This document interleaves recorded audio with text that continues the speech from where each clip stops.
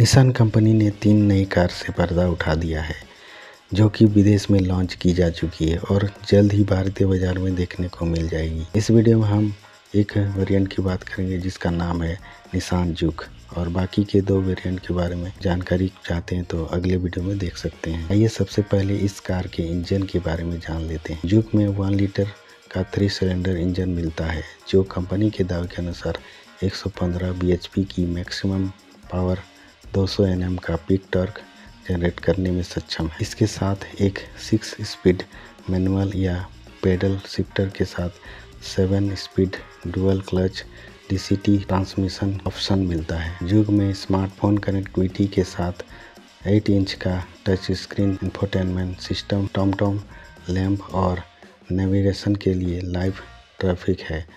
Infotainment system Nissan के connect के साथ काम करता है। निशान युग का सीधा टक्कर क्रेटा और सेल्टोस के साथ होने वाला है।